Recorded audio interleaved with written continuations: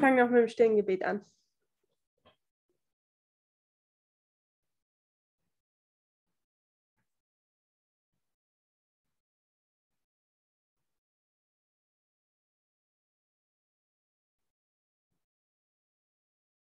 Amen.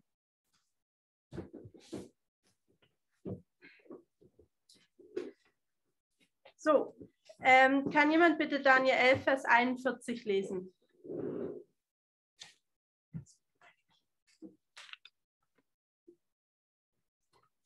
Entschuldigung, nochmal wiederholen. Daniel 11, Vers 41.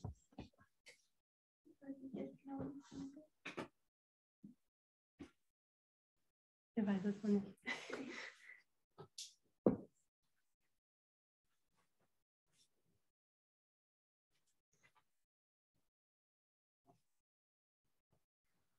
Könnten, sollten wir eigentlich alle auswendig kennen, den Vers?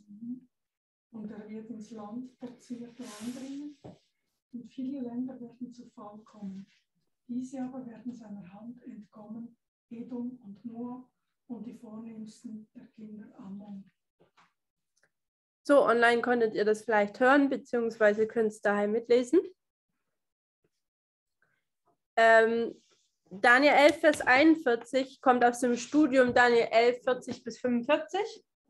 Und welche zwei Mächte kämpfen in diesen Versen, in diesen letzten Versen von Daniel 11? Wer kämpft da miteinander? Der König des Nordens und der König des Südens.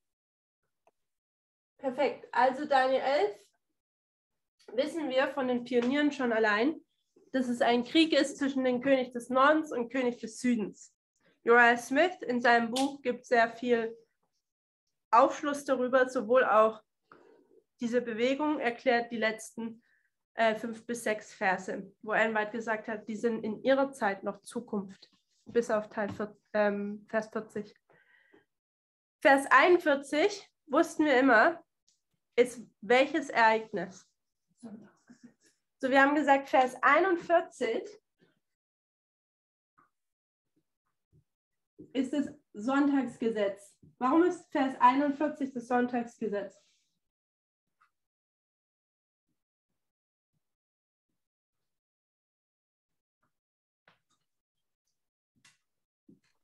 Ich würde sagen, wegen die Formulierung der, der äh, wie, wie, äh, wie der Vers formuliert wird, weil es sagt, es wird auch in das herrliche Land kommen und viele werden unterliegen.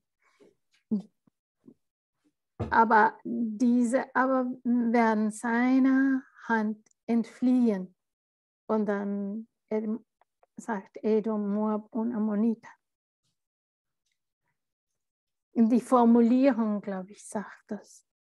Also Raquel sagt, die Formulierung des Verses sagt uns, dass das das Sonntagsgesetz ist. Das Vers 41 des Sonntagsgesetzes. Äh, Habe ich dich richtig wiedergegeben, Raquel? Ich meine ja. Okay. Ähm, Wäre es denn, das ist jetzt ein bisschen schwierig, weil für einige aus der Bewegung ist das ein Studium, was sehr viele Jahre zurückliegt. Für andere haben es noch nie studiert. Wer ist denn der R in Vers 41?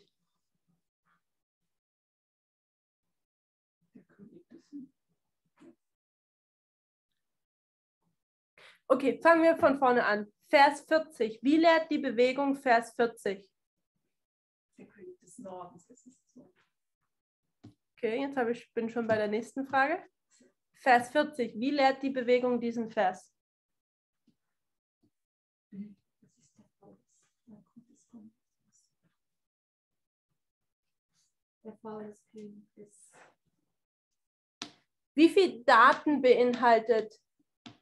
1798 und 1989. Also es gibt zwei Teile zu Vers 40. Welche zwei Teile sind das? A und B.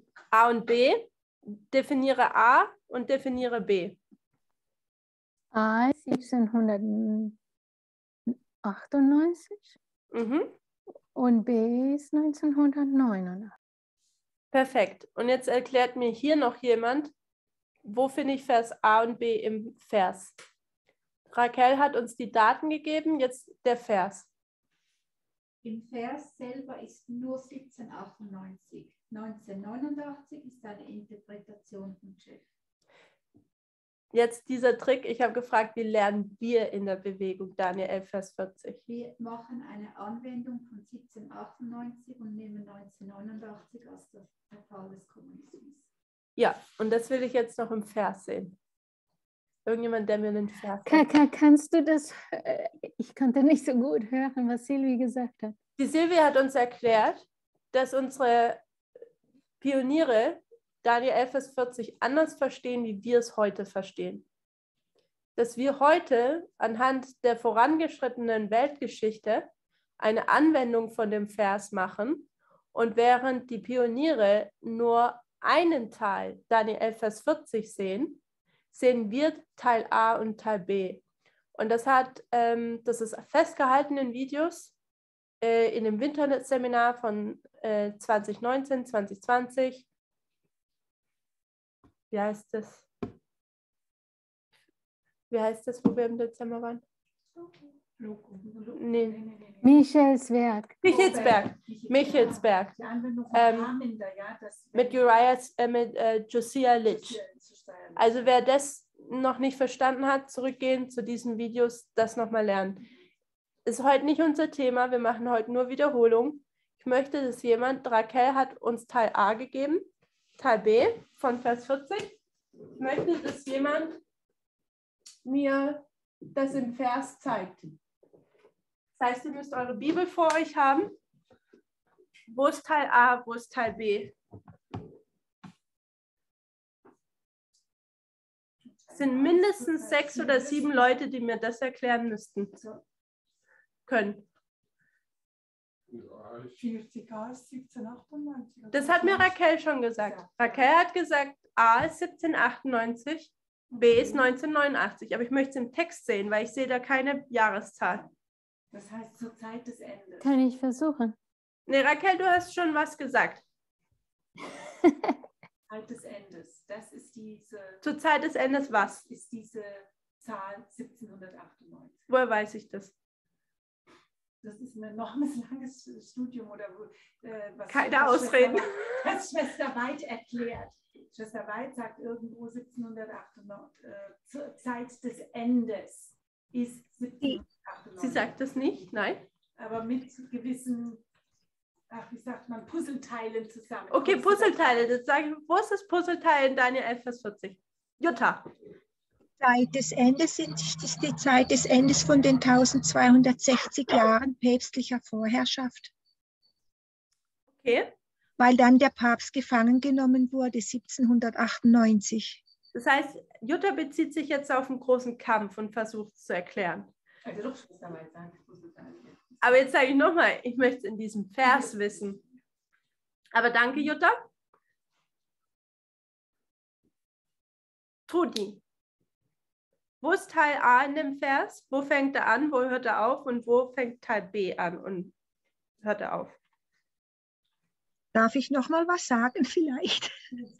Warte, Jutta, schnell noch die Trudi Okay. und dann, dann du, ja?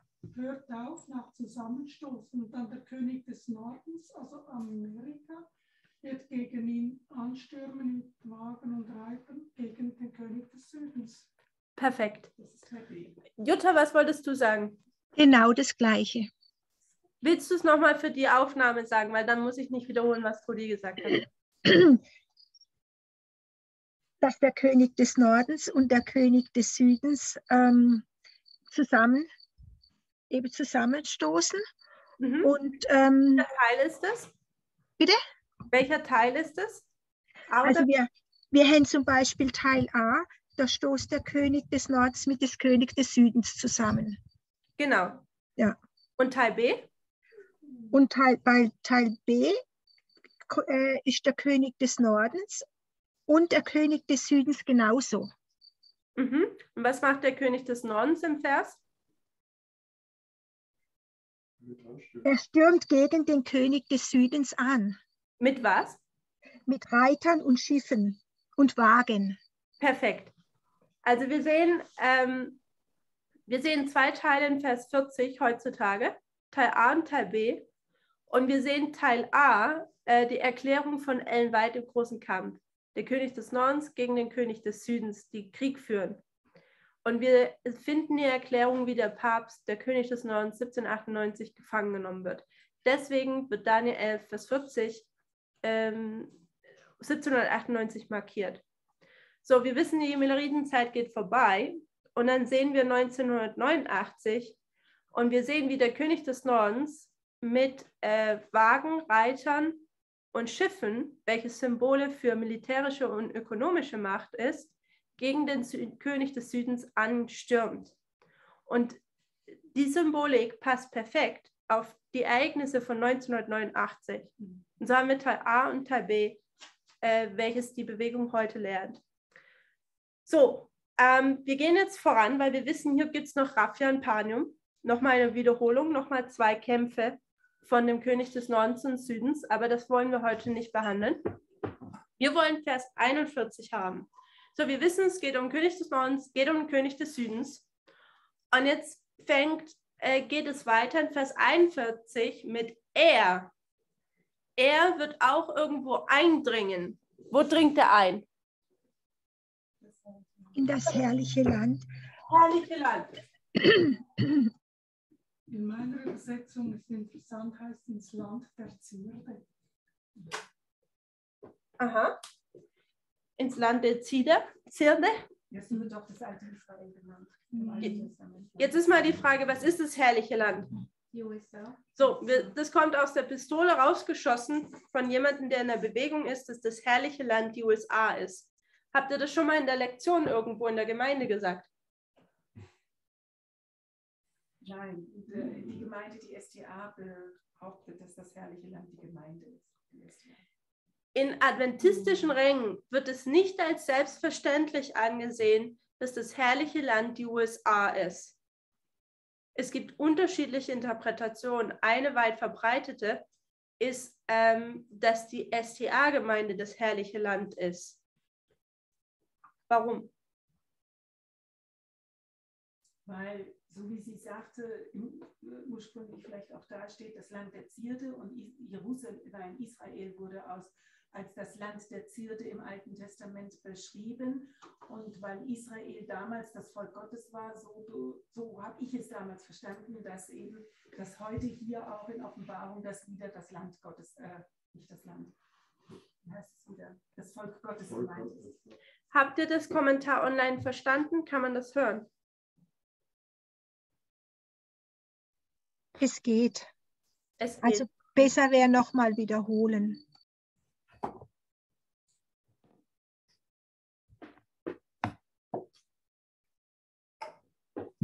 Also, man könnte eventuell sagen, dass das herrliche Land ähm, die Adventgemeinde ist, einfach von dem Verständnis her, dass die, die, die Adventgemeinde Platz sparen. ähm, dass die Adventgemeinde das moderne Israel ist. Wir wissen, das alte Israel war ähm, Gottes Volk. Und was wollte, was wurde dem? Das Problem ist, wenn man oberflächlich und einfach denkt, dann machen die Dinge Sinn. Ja, die Adventgemeinde ist das herrliche Land, weil wir wissen ja, Jerusalem war das herrliche Land. Denkt man aber ein bisschen tiefer nach, dann weiß man, was ist dem alten Israel gegeben worden. So, Gott hat gesagt, ich will ein Volk. Ich will ein Ja. Volk. Und was gebe ich ihnen? Raquel? Die Wahrheiten, die Gesetze. Ein. Er gibt ihnen ein Land, ein Land der Verheißung, wo das Volk wohnen kann. So, äh, ab 1798, ähm, dem modernen Israel, wird auch, sage ich jetzt mal, ein Land verheißen. Aber wer ist dies, was ist es für ein Land? Die USA. Die USA. Aber jetzt müssen wir vorsichtig sein, weil welche Gefahr laufen wir jetzt auf? Damals, als als Israel das herrliche Land bekommen hatte, welche politische Regierung hatte man? Die, Welche Form? Jutta, bitte. ah, nee, Entschuldigung, ist doch nichts. Kein Problem. Kirche, Staat. Kirche und Staat. Wir könnten sagen, eine Theokratie haben die geführt. So, sind die Adventisten dazu berufen, in das moderne Israel, ich nenne es moderne Israel, sind sie dazu berufen, eine Theokratie hier auf dieser Welt zu errichten? Nein. Und jetzt haben wir das Problem mit den Evangelikalen. Die Evangelikalen glauben nämlich genau das, dass die USA das Land gegeben ist, das moderne, herrliche Land, wo sie wieder eine Theokratie, Kirche und Staat aufbauen sollen. Aber wir Adventisten wissen es besser, sollten es besser wissen. Die USA ist zwar dieses moderne, herrliche Land, was gegeben wurde, aber nicht mehr als eine Theokratie, sondern jetzt als was? Welche politische Form wäre heute die richtige? Demokratie. Keine Demokratie. Getrennt, Kirche und Staat getrennt. Ja. Was ist Amerika? Was macht Amerika so stark, das Lamm? Verfassung. Verfassung? Und welche Trennung von Kirche und Staat. Trennung von Kirche und Staat, das hat Silvi auch gesagt, reicht mir aber nicht aus. Als was wurde Amerika gegründet als erste Nation dieses Globus? Es war ein Versuch, den ganz Europa zugeschaut hat. Gleichberechtigung. Sag mal. Ja, das ist Land ohne, ohne Kirche. Aber es wären vielleicht nur die Worte, weil in die Verfassung steht, alle Menschen sind gleich. Aber damals haben sie das nicht erlebt. Ich Also möchte sie wissen, haben das welche nicht. politische Regierungsform hat die USA? Meinst du eine Republik? Ja, perfekt, Rainer. Es war die erste Republik. Was macht eine Republik so ähm, anders, so mächtig, so gut, sage ich jetzt mal? Geht vom Volk aus. Geht vom Volk aus, das geht aber auch eine Demokratie. Aber ich kann sagen, was ist der Unterschied? Ja, was ist der Unterschied zwischen einer Demokratie und einer Republik?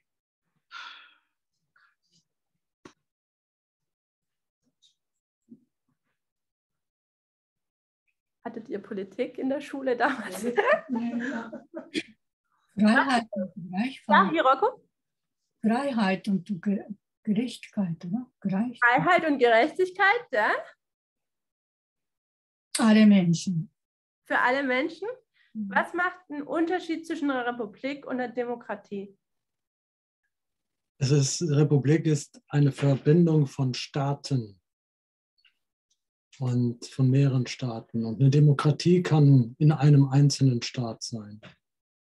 Also das könnte vielleicht ein Unterschied sein.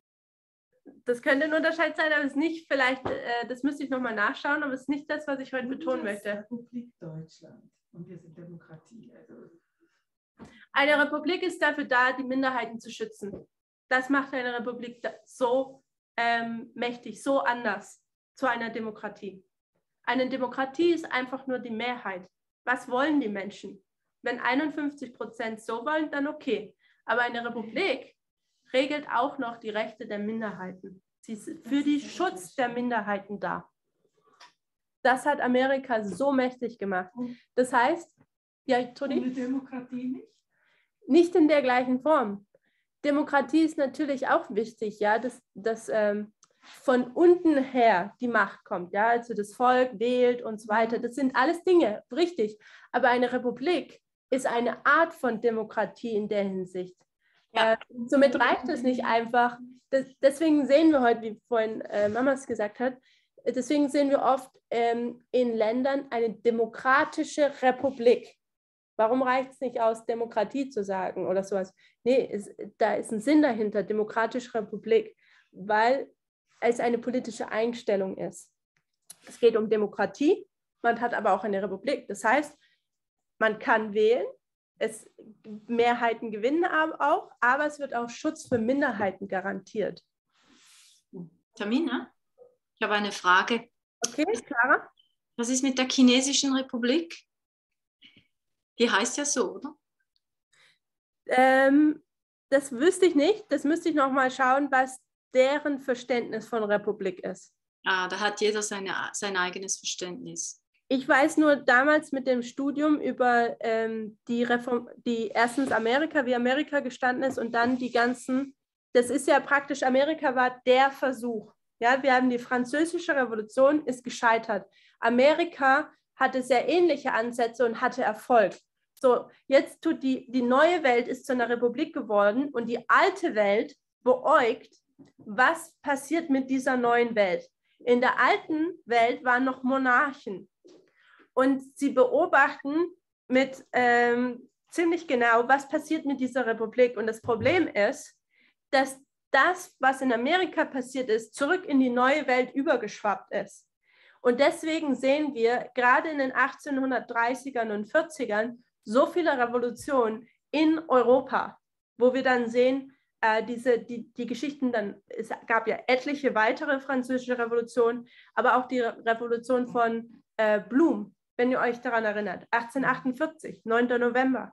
Das sind diese ganzen Revolutionen, die dann in etlichen Ländern in Europa stattgefunden haben, die aber nur gewisse Reformen eingebracht haben, aber irgendwie das Fundament gelegt haben, dass dann nach dem Ersten Weltkrieg die Monarchie abgeschafft äh, wurde. Ja? Und viel sind ja Republiken daraus entstanden. Und aus diesem, aus diesem Kontext heraus habe ich verstanden, was eine Republik ist. Ich habe aber nicht nach China geschaut und wie, was da los ist, warum die das singen. Weil ich denke nicht, dass China heute eine Republik wäre, wie es eigentlich ein Verständnis in Europa und in Amerika ist, soweit ich es verstehe. Das müsste ich nochmal nachschauen. Also zum Beispiel die Moral, Moral Major, Moral Majority? Genau, das ist ja dann die moralische Mehrheit, oder? Mhm. Das ist ja dann auch sozusagen Demokratie. Ist eigentlich auch nicht un Ja. unbedingt ungefährlich, weil dann die Minderheiten auch nicht geschützt sind. Moral Majority, äh, die moralische Mehrheit, ist in dem Sinn ähm, sehr gefährlich, weil durch Demokratie ähm, gewählt werden kann, dass es keine Schwangerschaftsabbrüche mehr geben darf. Ja. Weil 51 Prozent das sagen. Eine Republik müsste aber sagen, ähm, okay, 51 Prozent wollen das so, aber die 10 Prozent der Minderheit müssen wir schützen. Und deswegen gibt es Ge Gesetze, wo die Mehrheit nicht drauf zugreifen kann in der Hinsicht. Und das ist, das ist dieser Kampf der Kulturen, den wir in Amerika oder überall auf der Welt sehen. Ja? Äh, gewinnt die Mehrheit die persönliche Freiheit oder schränken wir die Freiheit des Einzelnen ein, um Gleichberechtigung, gewisse Rechte für jeden zu schaffen? Darum geht es ja. Macht es Sinn? Absolut, ja. Okay? Aber welche Länder sind denn noch Republiken? Viel. Äh, geh auf die Liste, es ist unglaublich viel. Äh, viel, weißt du, wir kennen, ähm, neu, ich musste mal, es ist schon eine Zeit jetzt her, ein paar Jahre, äh, eine Liste machen, wo auch ähm, wir, in welchen Ländern die Bewegung überall vertreten ist. Und du kennst dann, ich könnte jetzt keine Beispiele mehr sagen, weil es zu lang ist, aber du kennst zum Beispiel, ähm, du denkst, das ist ein, ein, du sagst, das ist Russland, aber das ist noch nicht mal der richtige Name eigentlich von dem Land sondern in Russland ist, glaube ich, auch das Wort äh, Republik oder so drin oder Föderale oder sowas. Auch, in, auch in äh, Deutschland, ja. Ich sagt Deutschland, aber es ist eigentlich gar nicht der, der richtige Name von Deutschland und so weiter. Ähm, und da sieht man eigentlich, wie viel äh, das überall vertreten ist. Ob die Regierungen heute noch so fungieren und so weiter, das sei nicht unbedingt gesagt, ja. Man, es gibt ja so Rankings in der Welt, wo man sieht, ja, wie steht es eigentlich um Pressefreiheit, wie steht es um Demokratie, wie steht es um Rechte für Minderheiten und so. Und wir sehen, dass Vorreiter, die Amerika, in den letzten Jahren eigentlich sehr nach unten äh, gerückt sind. Und ähm, in Amerika dürfte sich eigentlich keine Demokratie mehr nennen, wenn wir das so sehen. Ähm, die hatten einen Haben Sie bestimmten schon gesagt Autokratie? Ja, äh, noch nicht ganz Autokratie, da gibt es noch ein Zwischenwort, Au autoritär. Ähm, es gibt noch ein Zwischenwort, aber es geht in die Richtung. Russland dürfte sich das auch nicht mehr nennen. Es, müsste, es geht auch in autären Staat und so In weiter. Europa sind es Belgien, Großbritannien, Dänemark, Liechtenstein, Luxemburg, Monaco, Niederlande, Norwegen, Schweden und Spanien. Republik Mhm. In Europa. und Deutschland, Deutsche Demo äh, Demokratische Das Republik. ist Nicht mehr? Die Deutsche Demokratie, das DDR gibt es nicht mehr? Deutsche Demokratische Republik, Bundesrepublik Deutschland. Ja, Das waren beides eigentlich Republiken, aber wir wissen ja, die DDR war eigentlich nicht eine Republik in der Hinsicht. Die, das, war, das war nur der Name. Ja, also es ist komplex. Kommen wir zurück. Daniel 11, Vers 41, das herrliche Land. Also wir Adventisten sollten wissen, dass das herrliche Land die USA ist, das Gott gegeben hat für sein Volk. Ähm, aber dass es mehr auch, ähm, USA war ein buchstäbliches, ein Flucht, Zufluchtort, aber es geht auch um die politische Form, dass Kirche und Staat nicht ähm, verbunden sind, dass Freiheit herrscht, dass äh, die Rechte von Minderheiten geschützt werden. Ähm, so, das sollten wir als Adventisten verstehen, ist aber nicht selbstverständlich. So, die USA ist das herrliche Land, das ist ein Studium aus den 90ern von dieser Bewegung. Und wer kommt jetzt in, diese, in dieses herrliche Land und nimmt es ein? In Vers 41. Der König des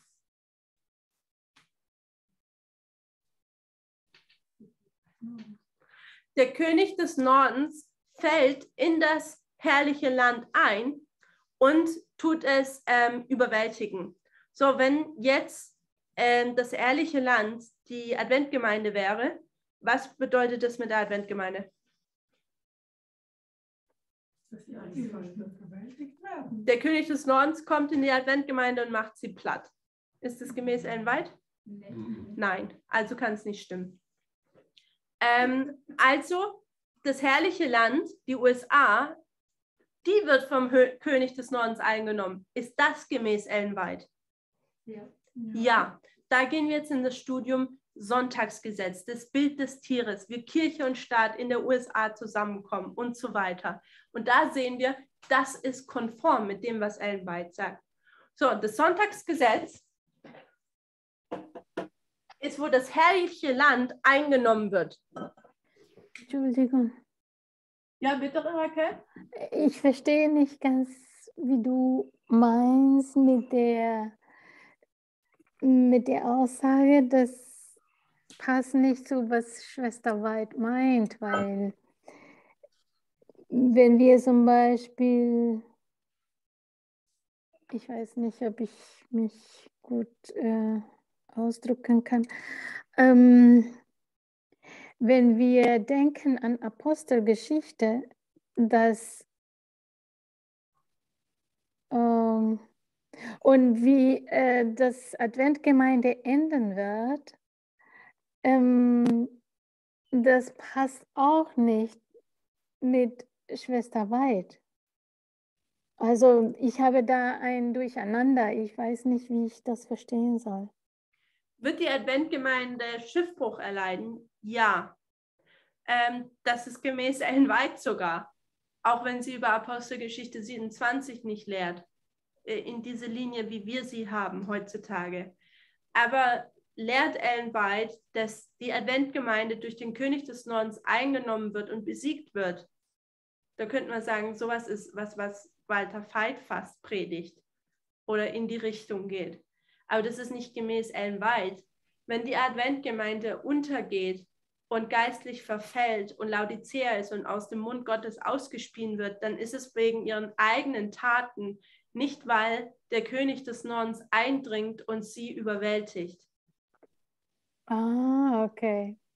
Aber Ich wir glaube- wissen von Ellen White, dass der König des Nordens in die USA eindringt äh, als Gleichnis und äh, es besiegen wird.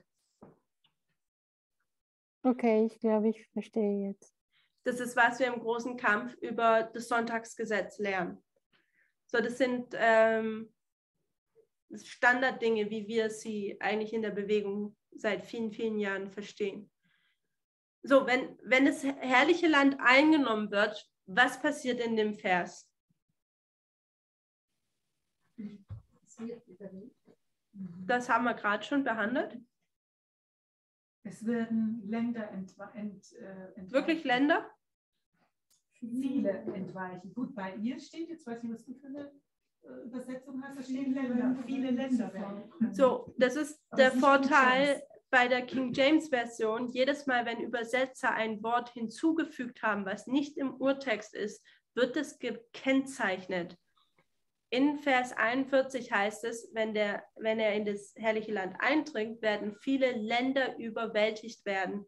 Und das Wort Länder ist markiert, dass das von den Übersetzern damals hinzugefügt worden. Das heißt, original müsste es heißen, er dringt in das herrliche Land ein und viele werden überwältigt. So, das herrliche Land wird eingenommen und was passiert zur gleichen Zeit? Viele werden unterliegen. Ich habe es nur im Englischen vor mir. Vor mir. Diese aber, die, diese aber werden seiner Hand entfliehen und dann wird aufgezählt, aufgezählt wer. So viele, Werden unterliegen. ist das richtig? Mhm. Ja. Viele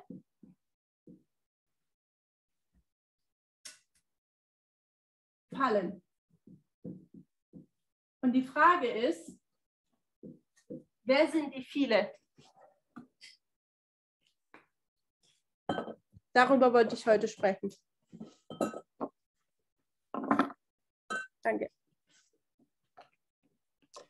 Also in dem Vortrag von Tess in France im Oktober letztes Jahres, da spricht sie darüber und sie bezieht das auf die Bewegung.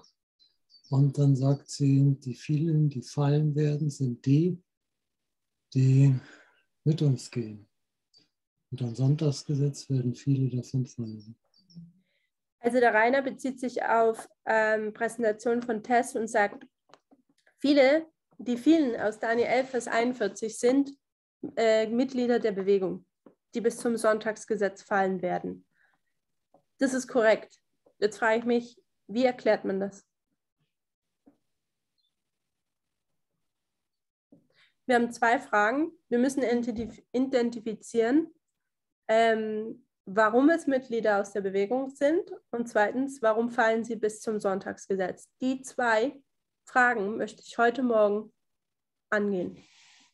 Oder? Ja, fallen ist ein Wort für äh, geistlicher Abfall.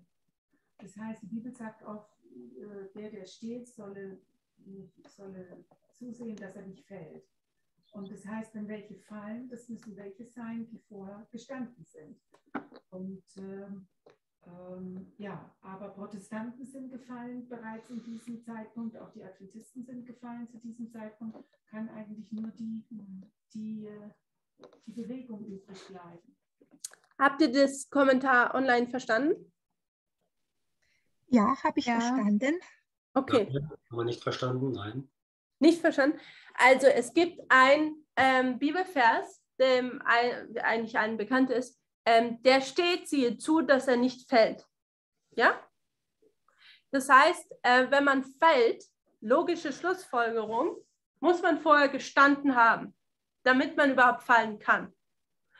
Und die Frage, die sich dann aufwirft, wenn man weiß, okay, man musste stehen, um überhaupt fallen zu können, dann musst du jetzt um dich rumgucken und schauen, wer steht denn eigentlich? Und um zu definieren oder um zu erkennen, wer steht, muss ich was wissen.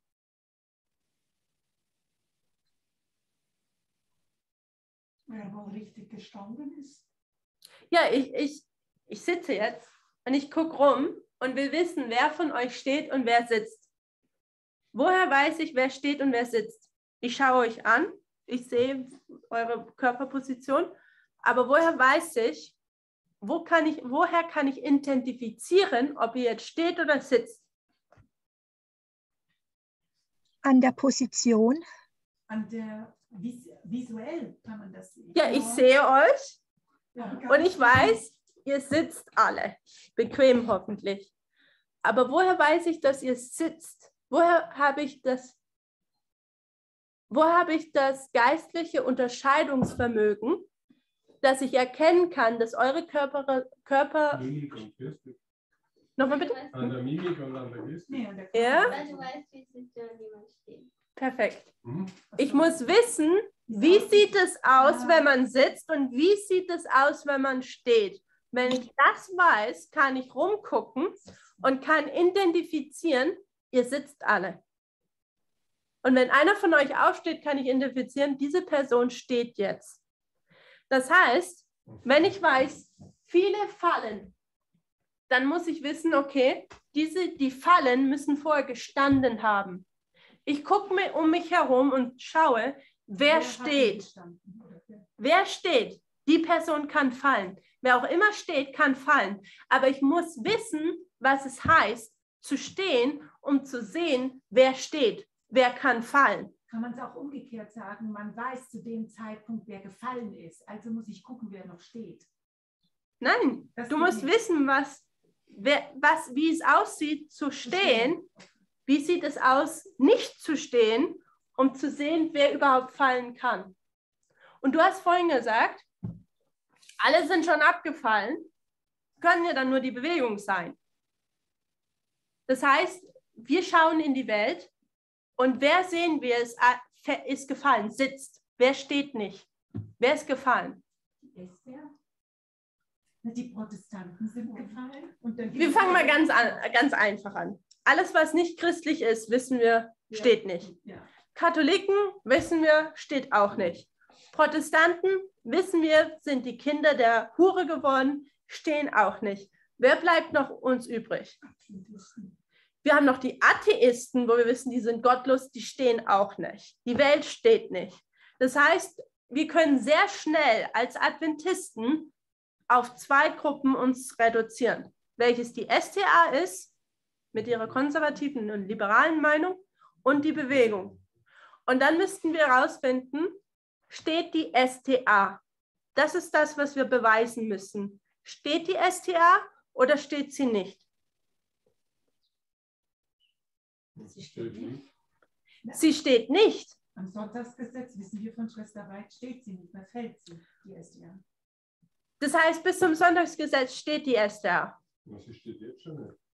Sie steht jetzt schon nicht. Woher wissen wir das? Müssen wir vergleichen. Vergleichen, welche in der Mitternachtsrufbotschaft, ich mache es euch einfach, in der Mitternachtsrufbotschaft, welches ist unsere Lieblingslinie, um aufzuzeigen, dass die STA nicht mehr steht? Hm, Apostelgeschichte 27. Ab, Aha. Apostelgeschichte 27, welche Wegmarke? 9-11. Nein, nein. Ähm, wo, wo Schiffbruch erleidet. Was passiert an Knidos? Das Schiff. Das Schiff kommt vom Kurs ab. Das heißt, die STA ist vielleicht ähm, noch, hat noch keinen Schiffbruch erlitten, aber sie ist nicht mehr auf dem Kurs. Was bedeutet, sie sind nicht mehr die, das Licht Ja. der Welt, was sie sein sollten. Was bedeutet, sie stehen nicht mehr. Sie sind Laodicea. Das heißt, wir könnten dieses Studium nehmen von Apostelgeschichte 27 wir könnten aber auch das Studium von Laodicea und den Gemeinden nehmen oder das Studium von der Taufe, wo wir sehen, der alte Bund ist abgetan, Gott hat einen neuen Bund, wenn ihr euch erinnert. Und wir können sehen, die STA ist nicht mehr die Gemeinde, die steht, was bedeutet im Umkehrschluss, dass nur noch die, die gegenwärtige Wahrheitsbewegung ist diejenige, die steht. Raquel? Aber eine Frage. Und zwar, ob man das sehen könnte in die Herstellungslinie. In der Wiederherstellungslinie? Ja, von Eden zu Eden. Nicht unbedingt. Außer du gibst mir einen Vorschlag. Ich würde sagen, wenn man die Linie der Herstellung sieht und man die drei verschiedenen äh, Sünden sieht, die erste e Eva, die zweite Kain und der dritte Rassismus. Und dann die Wiederherstellung am Ende der Welt, wo in umgekehrte Folge äh, diesen Sünden ähm, oder diesen, ja, also diesen Sünden dann ähm, als Probe, um zu sehen, wer so Gott steht und wer nicht so Gott steht, ähm, genommen werden. Und da würde ich sehen, dass die Adventgemeinde nicht steht. Das Problem, was du damit hast, Raquel, ist, dass es nicht so offensichtlich ist. Ah. Wenn wir zum Test von der Rasse kommen, dann wird es offensichtlich sein, dass wir schwarze männliche Prediger haben, schwarze männliche Missionare, dass ein Schwarzer neben einem Weißen in der Gemeinde sitzen kann und so weiter. Es gibt offensichtliche, offensichtlich, oberflächlich gibt es keinen Rassismus. Mm. Oberflächlich wurde die Botschaft von Johnson Wagner angenommen bezüglich Anbetung und Sabbat und so weiter. Es ist nur, wenn wir ganz tief in die subtilen Ecken gehen, wo wir merken, in der Adventgemeinde herrscht immer noch Rassismus. In der Adventgemeinde wurde der Sabbat und Anbetung immer noch nicht richtig verstanden. Aber ich denke, ich würde sagen, es ist nicht der erste Ort, wo ich hingehen würde, um zu zeigen, wie die Adventgemeinde heute gar nicht mehr stehen kann. Weil du würdest Okay. sofort Argumente kriegen, dass ähm, es keine Rassendiskriminierung in der Gemeinde mehr gibt, dass, dass, es, dass, dass es keine Rassentrennung gibt in den Gemeinden und, und, und. Mhm, okay. Also Nidus war ja 1863. oder? Ja. Also von da ist die SD auf den Kurs abgekommen und Ja. kam nie wieder auf Kurs. kam nie wieder auf Kurs, bis sie fällt. Was bedeutet, äh, das, das würde ich sagen, plus ähm, die Linie mit der Taufe, wo wir ganz klar sehen, der alte Bund ist abgeschafft und es ist der neue Bund, den man eingehen muss.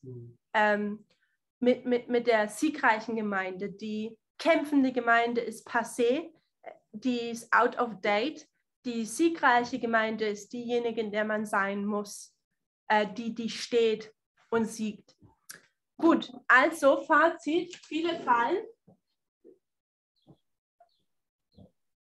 Die viele sind die Mitglieder der Bewegung. So, ich hoffe, dass wir ähm, die erste Frage beantwortet haben. Wie kann es sein, dass in Daniel 11, Vers 41 die viele ähm, Mitglieder dieser Bewegung sind? Soweit sind wir klar, warum es Mitglieder der Bewegung sein müssen. Lässt uns jetzt noch den Punkt 2, der Zeitpunkt des Falls. Woher wissen wir, abgesehen von Daniel 11, Vers 41, warum die Leute gerade da fallen?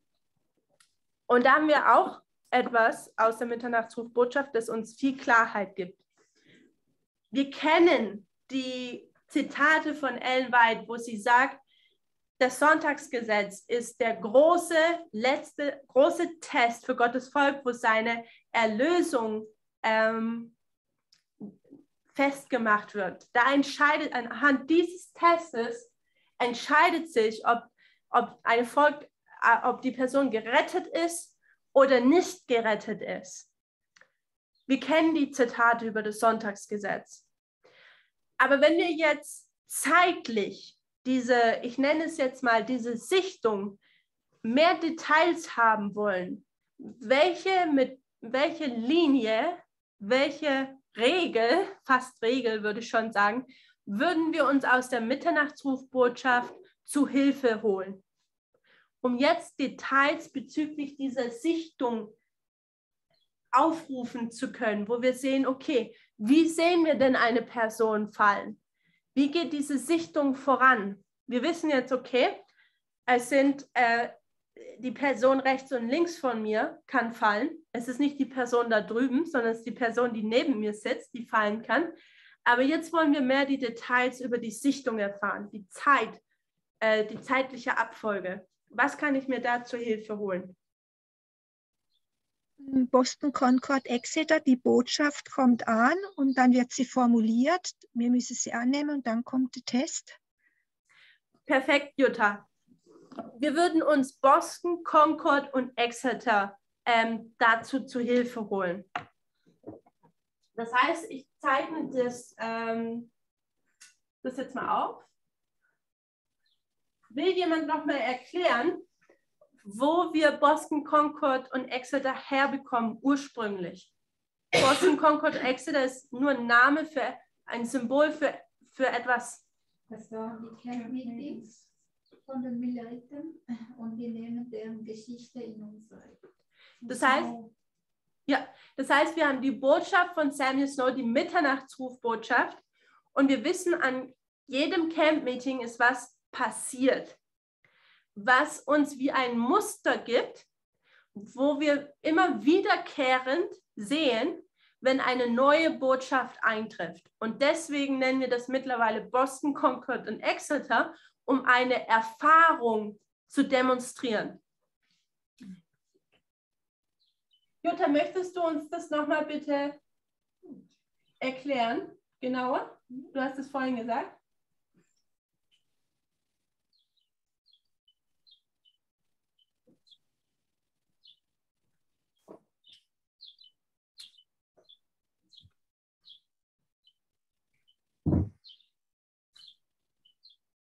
Die Botschaft kommt dann. Ja, ich kann, okay. Ich wollte nur warten, bis du fertig bist mit Schreiben.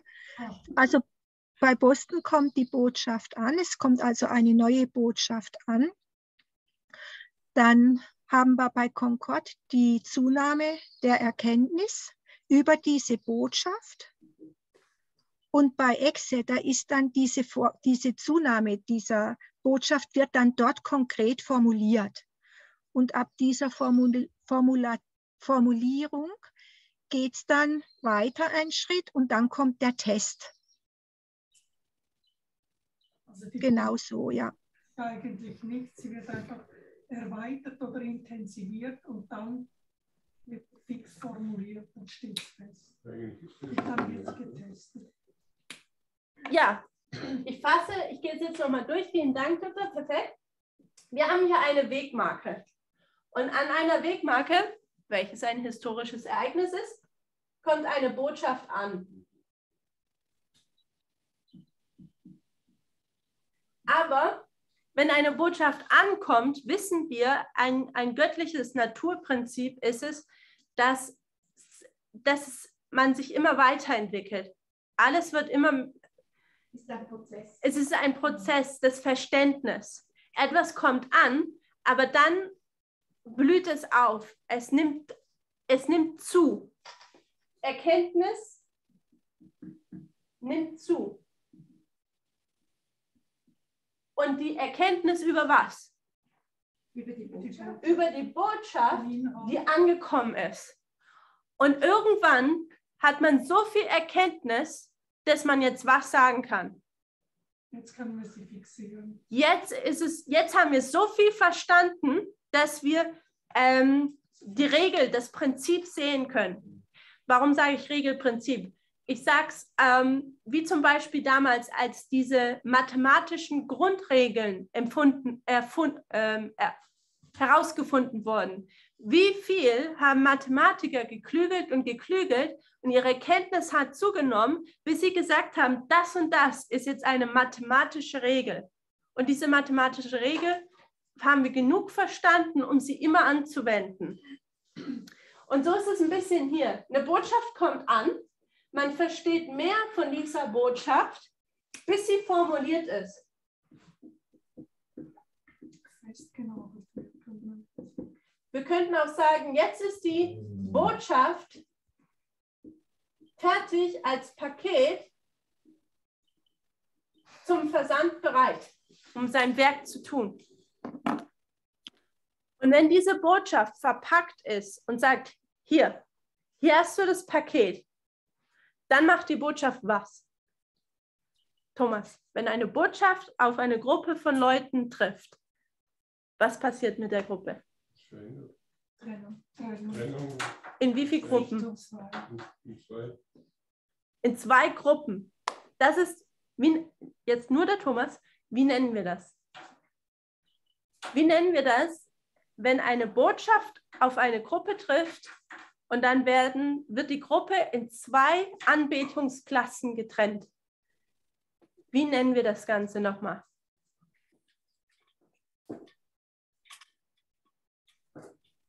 Sichtung. Nicht ganz. Wir wollen den Thomas hören. Das ist dieser lange Satz, den wir durchgearbeitet haben.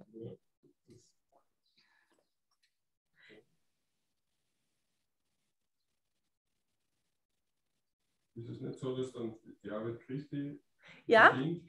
das Punkt, Punkt, Punkt ist die Arbeit Christi. Und dieses Punkt, Punkt, Punkt will ich wissen. hergestellt und demonstriert. Ne, vorher? Vorher. Das ewige Evangelium. Perfekt. Das ewige Evangelium. Das ewige Evangelium ist eine Botschaft, die ankommt, die zunimmt, die verstanden wird, die verpackungsbereit ist, die auf eine Gruppe von Menschen trifft, sie spaltet und die eine Gruppe ist für ewige Verdammnis und die andere Gruppe ist für das ewige Leben. Das heißt, wenn wir das Sonntagsgesetz, wenn wir wissen wollen, wie der Fall aussieht, müssen uns Boston und Concord zur äh, Hilfe nehmen. Boston, Concord und Exeter. Wir wissen, wer fallen wird. Also jetzt nicht buchstäblich welche Person, sondern wir wissen, wo die Sichtung stattfinden wird. Und jetzt haben wir mehr Details über, wie die Sichtung aussehen wird. Wir können jetzt das ewige Evangelium bei der Arbeit zuschauen, während wir gleichzeitig auch Akteure sind. Das heißt, wenn es um Sonntagsgesetz geht, der große Test, Jutta, wann fängt, wo befindet sich auf dieser Linie das Sonntagsgesetz? Jetzt muss ich gerade noch mal gucken, weil ich war gerade in der Bibel was am Lesen nebenher. Nochmal die Frage, wo befindet sich auf dieser Linie Auf dieser Linie, wo würde ich das Sonntagsgesetz markieren? Warte mal. Wir haben hier Boston, Concord, Exeter und dann hinten noch eine Wegmarke. Wo wäre dieser große Test des Sonntagsgesetz? Jetzt bin ich gerade überrascht. Äh, Trudi? Ja, bei der Formulierung. Nee. Okay. Der Prozess, Formulierung zum Test. Trudi sagt von hier bis hier. Mhm. Warte, dann mache ich es hier unten hin.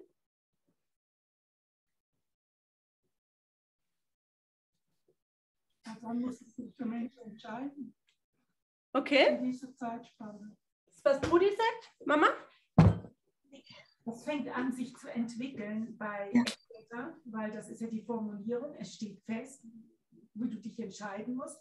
Und bei SG, also bei dem zweiten SG wird, äh, wie soll man sagen, äh, wird demonstriert, zu was sich jeder entschieden hat. Das heißt, du stimmst mit Trudi überein.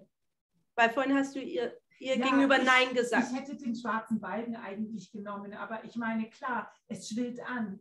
Also es stimmst du an- mit dir überein oder nicht? Es fängt im Kleinen an und es schwillt an. Und dann kommt Ja oder nein? Ja, gut, äh, okay. Jetzt ja. wird eure Freundschaft auf die Probe gestellt. Aber Silvi? die Botschaft ist schon gekommen und sie hat schon zugenommen und sie wird nur noch A plus A gleich B Das heißt, wo würdest du es markieren? bei Exeter. Nur hier. Ist dann der Test kommt, also die Botschaft wird formuliert und dann ist gleich sofort der Test. Das heißt, du würdest sagen, hier ist das Sonntagsgesetz. Du hast es so schön übereinander gemalt. Nee, nee, Das, das, ist, äh, das hier ist nicht 19, 1798. Das hat nichts miteinander zu tun. Okay, also ich würde sagen, die Botschaft kommt, sie nimmt zu, sie wird formulieren und da musst du dich entscheiden, Das heißt, du hast das Sonntagsgesetz hier. Gleich Ja. danach. Weil es, es, sind ja. es muss ja so sein, weil es sind ja, die Gruppen sind ja getrennt. Also dann muss der Test als nächstes sein. Ich würde Das ist sagen, ein es ist Prozess. ein Prozess auch. Ja. Das heißt, du stimmst mit Trudi und Mama überein. Na, ich sage, dass das Sonntagsgesetz gleich ist da. Hier. Thomas sagt hier. Jutta? Ähm, aber die Gruppen, also der Ding hat gerade gesagt, der Thomas, äh, die Gruppen sind dann getrennt, aber die Gruppen sind ja dann eigentlich erst fixiert ab dem Ende der Gnadezeit, oder?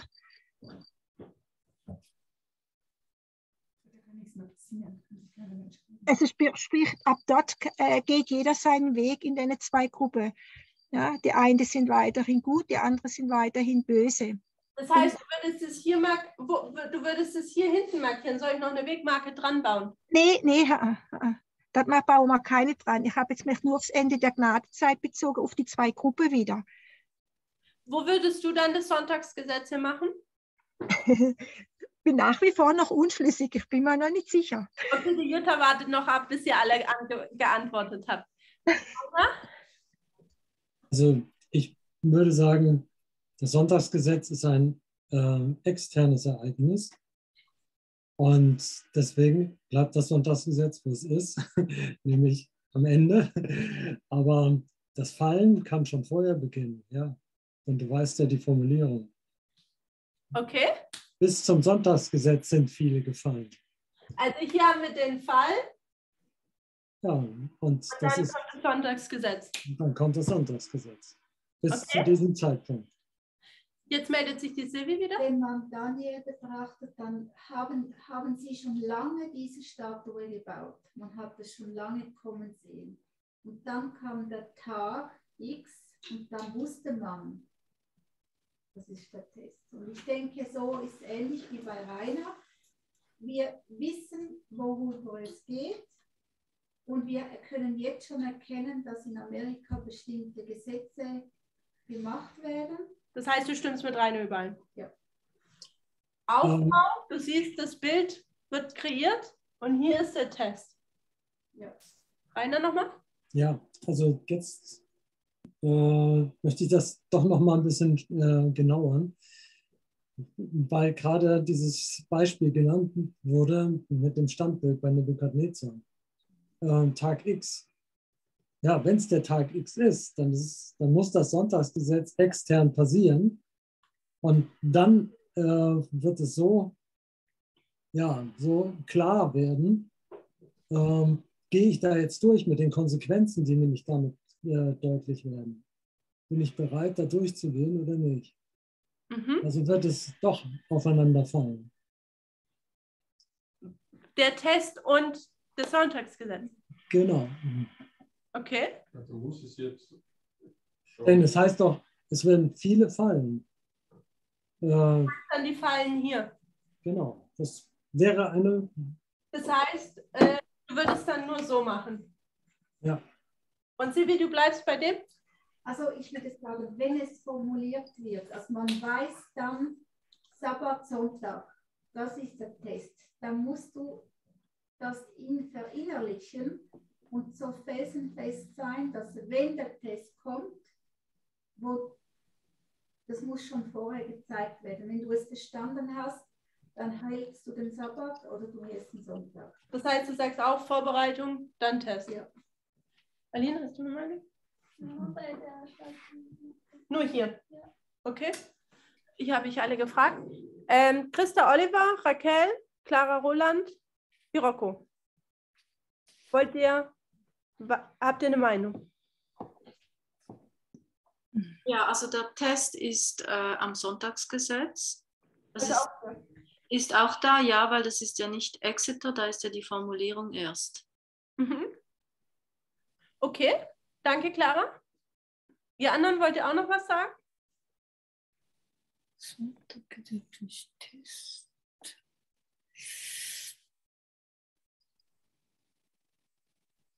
Äh, Hiroko, möchtest du was sagen? ist das nicht Boston? Du meinst hier der Test? Nein, Botschaft gegeben, oder? Hier kommt die Botschaft an. Ja. Dann wird sie verstanden, sie nimmt zu, dann wird sie formuliert. Und wir fragen uns jetzt, wo, wo ist dann der Test? Nach der Formulierung. Nach der Formulierung, der Thomas sagt hier noch. Mhm.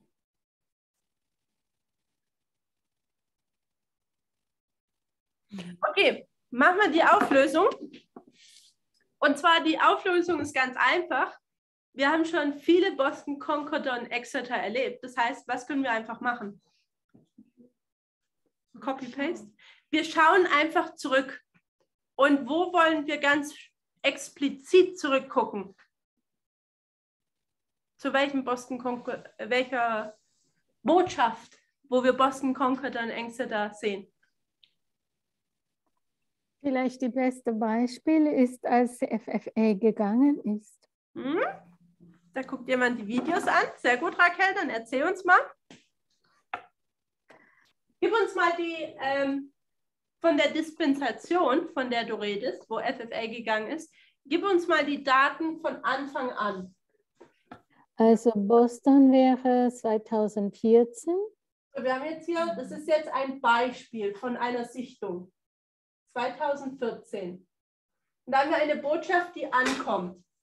Ähm, 2016 wäre Concord, die Tsunami-Anerkenntnis. Mhm. Und dann Exeter wäre 2014. 2014? Ja, äh, 18, Entschuldigung. 18? Und Sonntagsgesetz wäre 2019. Was heißt Sonntagsgesetz? Du meinst das hier?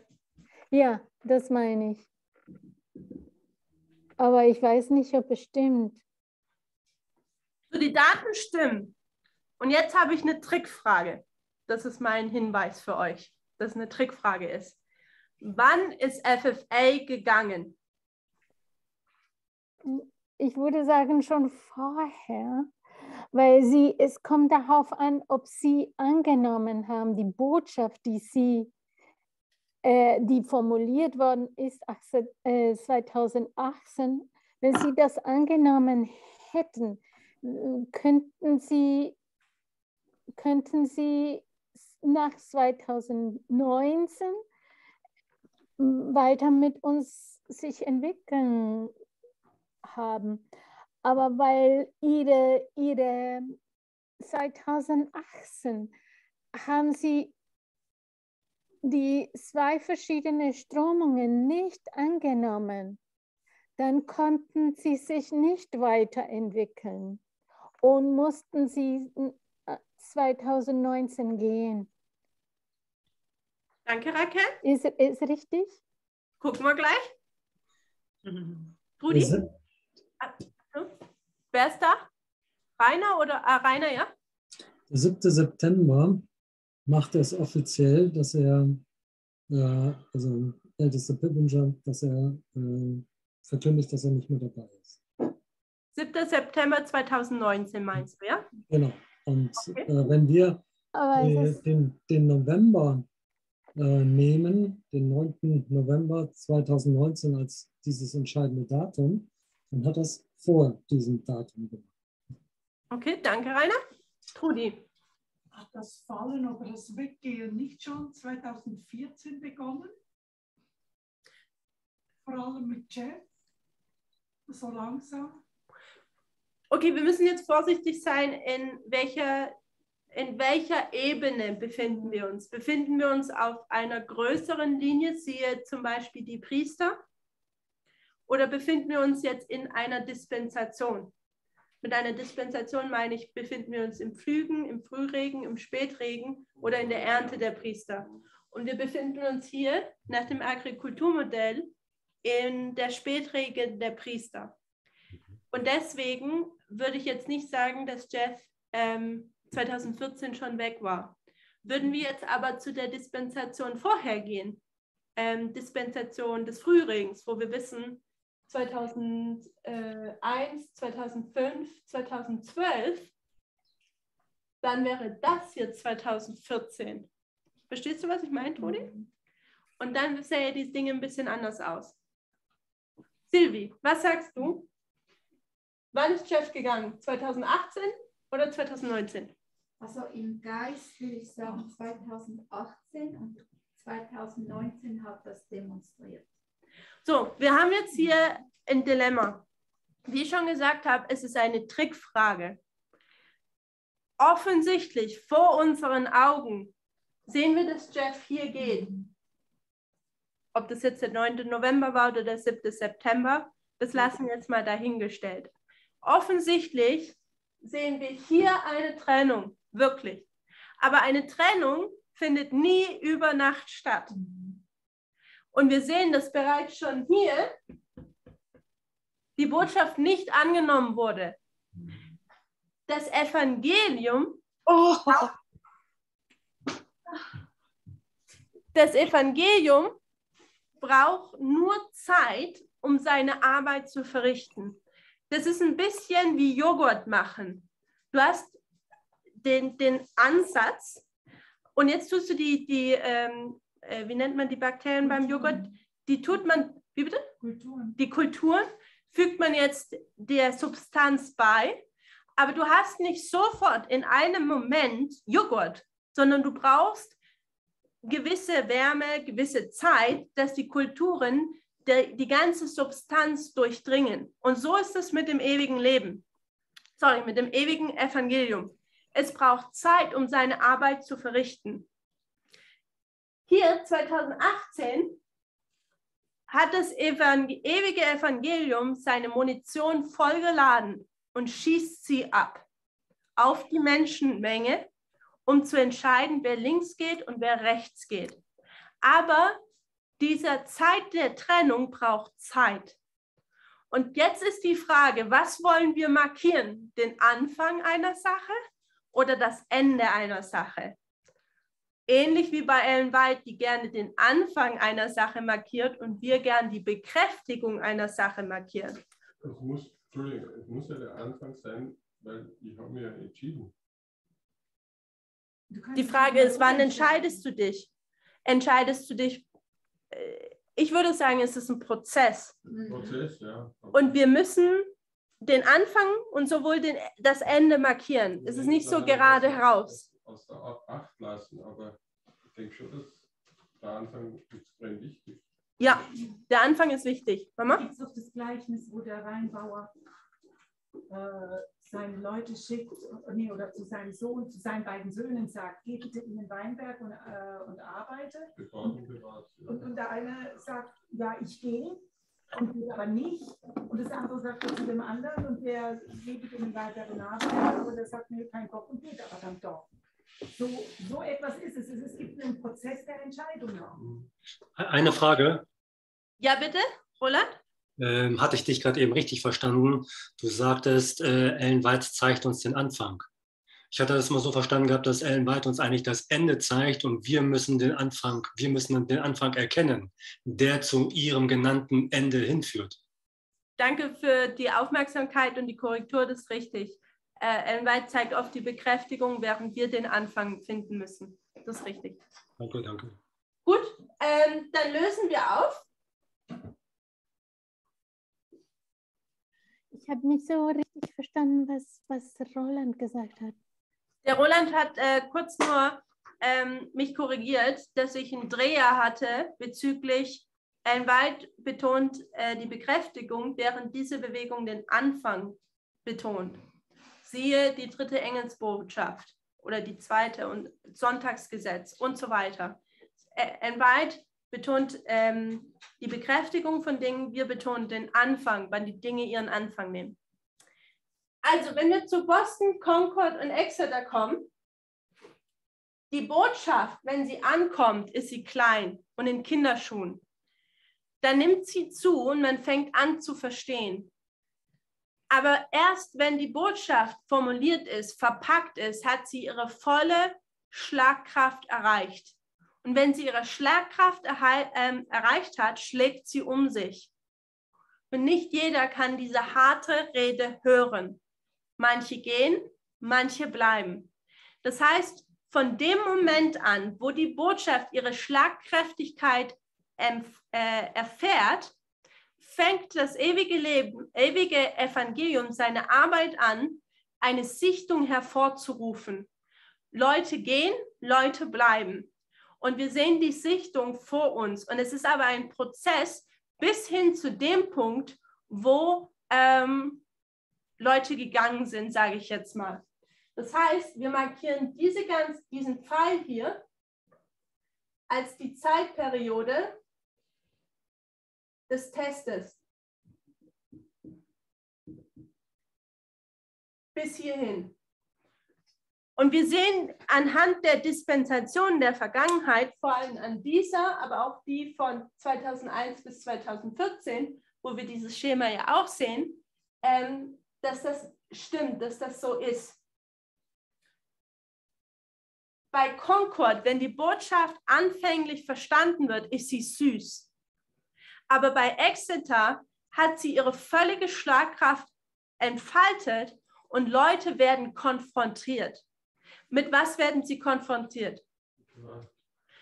Wahrheit, ja, aber das haben sie auch hier schon gekriegt, weil das ist Wahrheit, das ist Wahrheit. Es betrifft sie persönlich. Entscheidung. Entscheidung. Jetzt hier ist die Botschaft süß, leicht. Aber bei Exeter bedeutet es, dass sie ihr Leben verändern müssen, ihre Kultur verändern müssen. Jetzt wird ihre Kultur angegriffen. Und dann hat die Botschaft eine Schlagkraft erreicht, die Menschen kaum noch aushalten. Und das ist der Test, worüber sie gehen. 2018 war ein Angriff auf die amerikanische Kultur des Libera wie nennt man diese Libertarianismus. Ich hoffe, dass ich es richtig gesagt habe. Meine persönliche Freiheit über Gleichberechtigung, das wurde angegriffen. Ähm, Informationsströme wurde angegriffen und somit the way of life, die Art des Lebens wird angegriffen. Und das ist die Schlagkraft des ewigen Evangeliums, wo viele sagen, da machen wir nicht mit. Und wenn sie hier vielleicht noch dabei sind, so macht das ewige Leben, ewige Evangelium immer mehr seine Arbeit, bis die Dinge offensichtlich sind. Ja, unterstützt noch mit dem, was halt Schwester White sagt und die Bibel sagt, so, praise the Lord. Fühlen die sich dann, Ja. macht das Ganze ja noch schwieriger. Das heißt, ich mache das jetzt hier weg, damit wir wieder Platz haben. Dafür Boston, Concord, Exeter. Dafür hast du das Kuh. Ah, danke. Hier ist der Test. Wir wissen, deine 11 Vers 41 findet hier statt. Sonntagsgesetz. Welches ist diese Wegmarke hier? Wo Boston anfängt für das Sonntagsgesetz.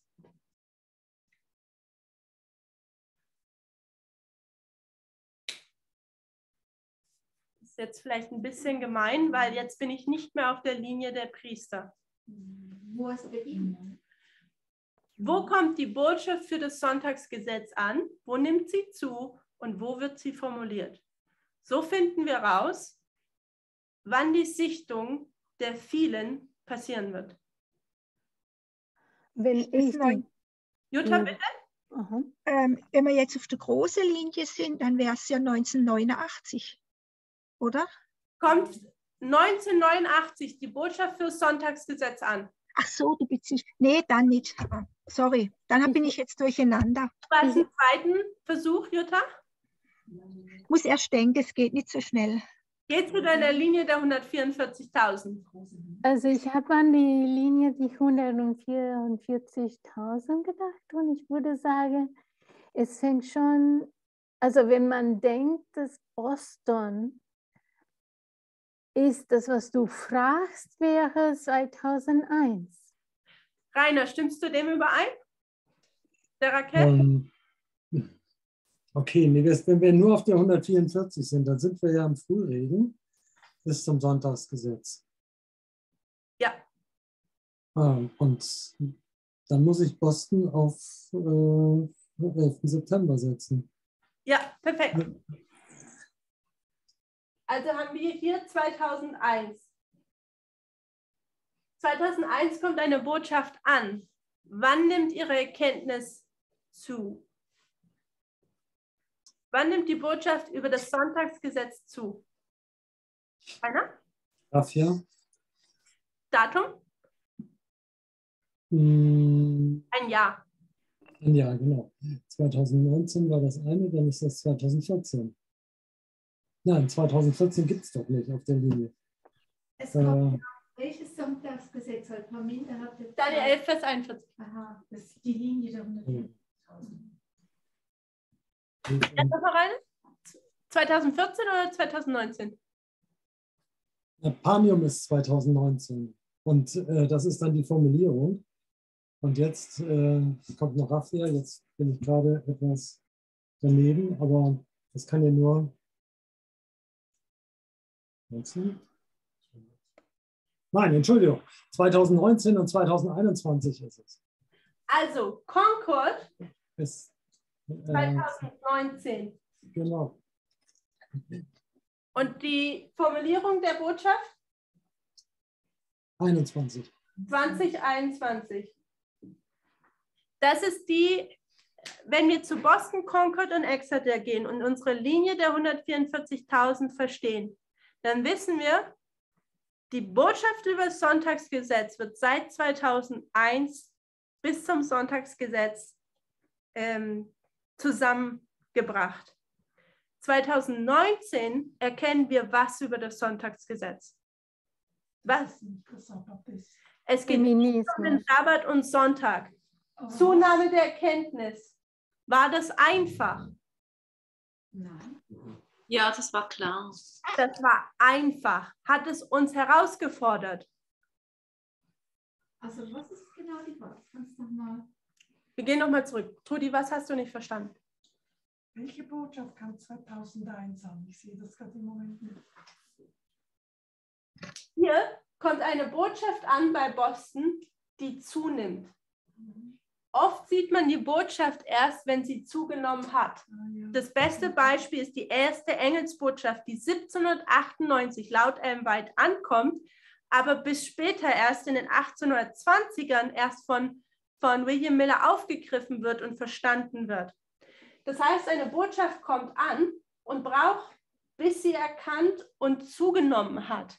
Und das sehen wir 2019. 2019 sehen wir, wie die Botschaft über das Sonntagsgesetz zunimmt, wo wir verstehen, worum es um das Sonntagsgesetz geht. Und wir verstehen, es geht nicht buchstäblich um Sabbat und Sonntag. Und die Frage ist, war das etwas, was wir annehmen konnten, was einfach war? Ja, das war, sonnen, ne? das war sonnenklar. Ja, Warum? Warum ist es sonnenklar? Weil es uns gefallen hat. Raquel hat es gefallen? Ne, ich würde sagen, denke, das weil wir, weil wir die. Methode verstanden haben und das Vergleichen und Gegenüberstellen. Von wem haben wir, dass es nicht um Sabbat und Sonntag geht? Von wem haben wir das dann herausbekommen? Noch eine Dame weiter, die schon gestorben ist. Von Ellen White selber, weil wir ihre Bücher verglichen haben. Und wir sehen, sie benutzt die Genau. gleichen Symboliken, aber andere Ereignisse. Ja. Das heißt, sie selber gibt uns den Hinweis. Und das war das mit äh, geistliche Gaben, ne? Ja, Geistliche Gaben und, und großer Kampf. Wenn wir das miteinander verglichen haben, haben wir gesagt, okay, es gibt ja zweimal ein, Ja. ein, ein na, wie sagt man, Ein ein, Sonntagsgesetz im Grunde genommen. Also kann es das dritte nicht sein, dass es um Sabbat und Sonntag geht. Das war nämlich 1888 schon Ja. Sabbat, Sonntag. und dann 2021, wann wurde die Botschaft formuliert? Oktober. Oktober An welchem Tag? 22. Ja. Nein. Nein, es war Darf ich fragen? Was fragst du? An welchem Tag im Oktober wurde die Botschaft formuliert? Rainer? Von 24. Okay, ich hatte den Rainer gefragt. Der, äh, ja, das war Frankreich, 10 im Oktober und der 27. 27. Also zumindest sind die Videos auf den 27. datiert im Internet, aber es könnte auch verkehrt sein. Aber ja, 24 war schon den ersten Vortrag vom Feminismus. Äh, da war das Camp-Meeting noch nicht, hat noch nicht begonnen. Äh, Raquel, was sagst du? Es hat angefangen am 24. Und dann am 27. war die zweite über äh, radikale Feminismus. Aber es war eine, äh, einen ganzen, einen ganzen Seminar. Ich weiß aber nicht, wie lange das war.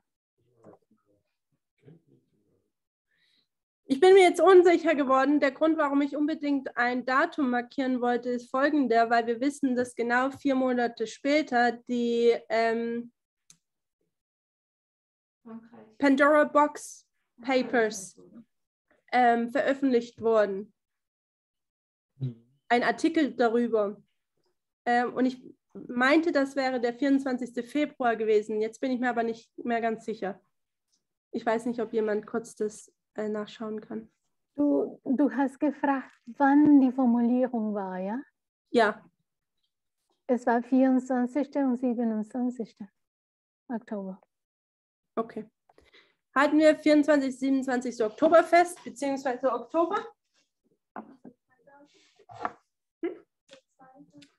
Äh, weil da um die, um, ja, warum die Daten? Was ist da passiert?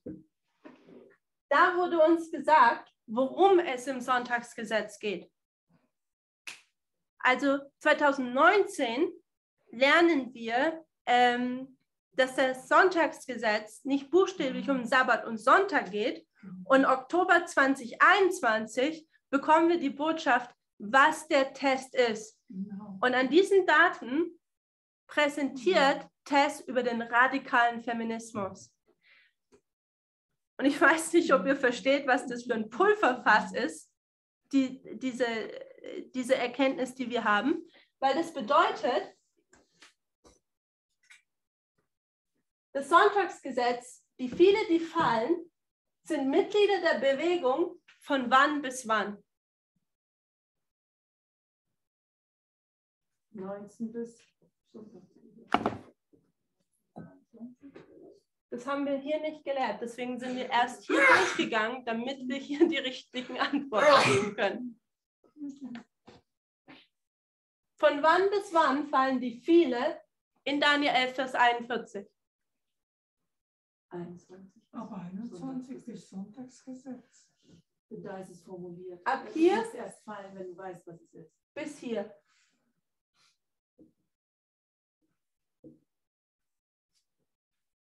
Aufgrund des Testes des radikalen Feminismus.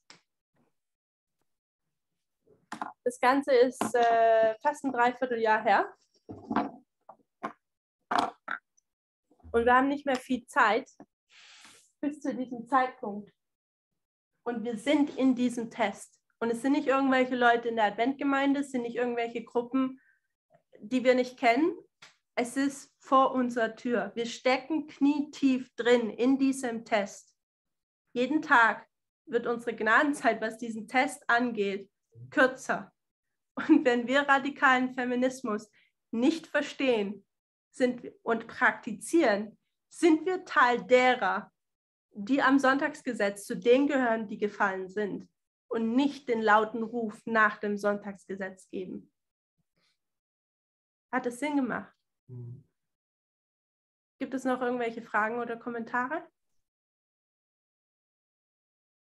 Ja, ich würde das gerne weiter, also in einem nächsten Vortrag dann weiterführen. Okay, wenn wir wissen, wann, also jetzt wissen wir ungefähr den Zeitpunkt, warum und wo wir stehen. Und wie sieht jetzt, wie, ja, ähm, können wir nochmal zusammenfassen, diesen radikalen Feminismus, was das in unserem Leben alles bedeutet? Kann man das nochmal oder sagst du nein? Heute geht es nicht mehr, wir haben Nein, schon nein, halb nein, eins. Nicht. Meinte ja. Nicht jetzt, sondern da ein Paket. Das Problem ist, wir wollen eine Liste haben mit den Lösungen, die wir an unserem Test brauchen. Und dann sage ich, das gibt es nicht. Was du hier verstehen musst, ist nicht eine Liste, wie du dich benehmen musst. Was du hier verstehen musst, ist eine Kultur. Deine Kultur wird hier konfrontiert. Du hast eine sexistische Kultur und die wird herausgefordert, dass du die ablegst.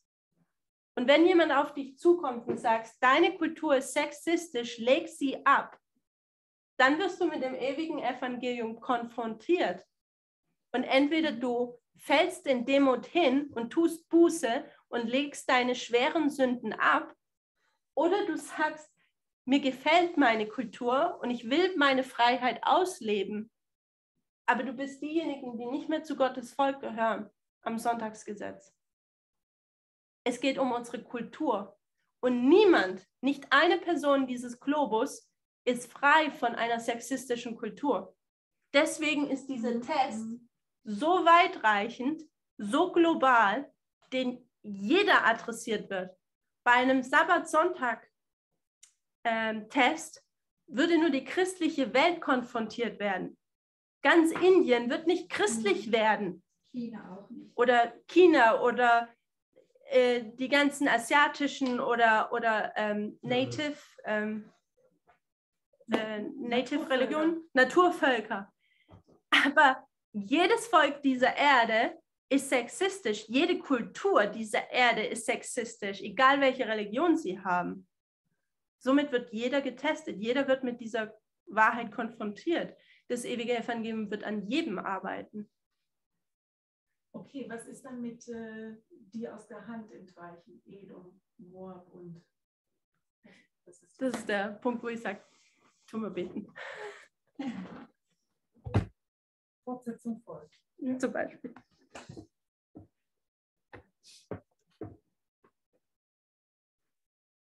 Herr, wir danken dir für die Botschaft, die du uns gegeben hast, die Methode, dass wir entschlüsseln können, wo wir in der Erdgeschichte stehen und was du von uns zu dieser Zeit verlangst. Herr, wir stehen tief in diesem Test und erstens sind wir uns dessen nicht äh, bewusst, dass dieser Test über uns schwingt. Zweitens sind wir alle sehr sexistisch und haben unsere Kultur nicht abgelegt. Und die Zeit läuft ab, dass wir diese Kulturveränderung durchnehmen. Wir danken dir für deine Mitternachtsrufbotschaft, die uns damit konfrontiert, auch wie schmerzhaft es sein mag. Aber hinter diesem Schmerz liegt deine Liebe, dass wir uns verändern und bereit werden, ein Leben im Himmel leben zu können, in völliger Gleichberechtigung ich bitte dich, dass ein jeder diesen Wunsch und Tatendrang verspürt, dies seine Kultur zu verändern, die dir wohlgefällig ist und die uns für den Himmel auch fähig macht.